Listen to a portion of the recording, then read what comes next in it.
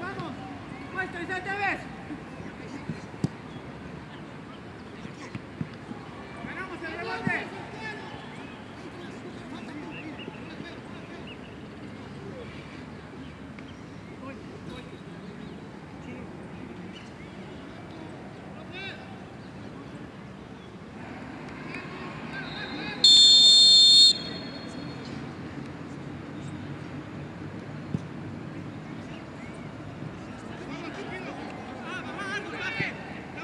Y gracias a Dios se, ha logrado clasificar.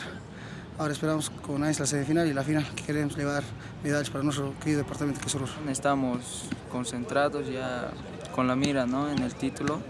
Hoy día era asegurar el partido, hemos venido por todo y se nos ha dado, hemos jugado tranquilos, con calma y las cosas han salido bien.